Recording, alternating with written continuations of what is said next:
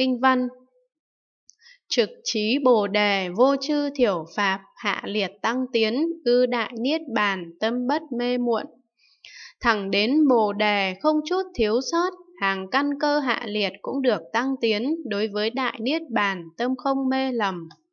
Giảng thẳng đến bồ đề không chút thiếu sót, các ông sẽ thẳng đến nơi giác ngộ đạt được cảnh giới của chư Phật không chút thiếu sót, quý vị sẽ không gặp những chướng nạn hoặc phiền não, hàng căn cơ hạ liệt cũng được tăng tiến. Đối với đại niết bàn tâm không mê lầm, ngay cả với những người có căn tánh thấp kém cũng sẽ được tiến bộ. Quý vị sẽ hướng thẳng đến diệu quả niết bàn và tâm quý vị không còn kinh qua những dạng mê mờ phiền não như trước nữa.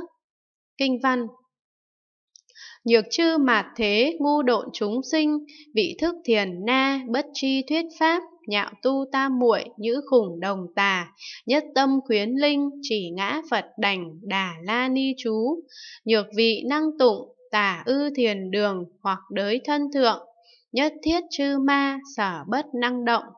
Việt dịch nếu có chúng sinh mê độn trong đời mạt Pháp, chưa hiểu thiền na, chưa nghe Pháp yếu, ưa tu tam muội nhưng căn tánh chậm lụt, sợ họ bị lạc vào tà kiến, thì các ông nhất tâm khuyên họ chỉ tụng chú Phật đảnh Đà La Ni. Nếu chưa tụng thuộc, thì viết trên thiền đường hay mang trong thân, thế nên các loài ma không thể nào quấy phá họ được.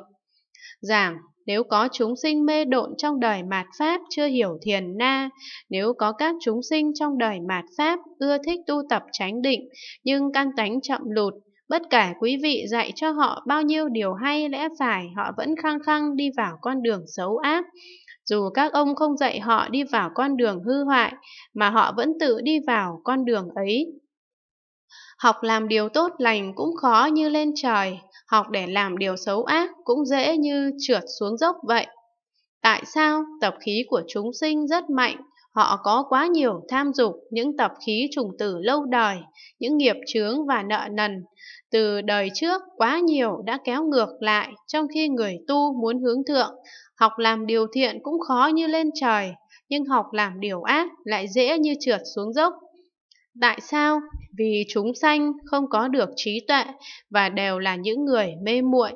Họ là những người chưa nhận biết sự quan trọng của thiền na, họ không nhận ra được sự quan trọng cần thiết của việc tu đạo, chưa nhận ra được sự cần yếu của pháp tu tập thiền định, chưa nghe pháp yếu ưa tu tam muội hoặc chưa từng được nghe pháp yếu. Họ không hiểu biết gì về chánh pháp, dù họ chưa từng nghe giảng những điều cốt tủy của Phật Pháp hoặc chưa biết cách công phu tọa thiền tập định, nhưng họ rất ưa thích tu tập chánh định. Những người ưa thích tu tập chánh định thì phải hiểu biết về đạo và rõ ràng về Pháp. Sợ họ bị lạc vào tà kiến, các ông nên quan tâm giúp họ khỏi bị lạc vào tà kiến. Nếu quý vị lo cho những người này rơi vào tà chi tà kiến thì quý vị phải báo trước cho họ thì các ông nhất tâm khuyên họ trì tụng chú Phật đảnh Đà La Ni.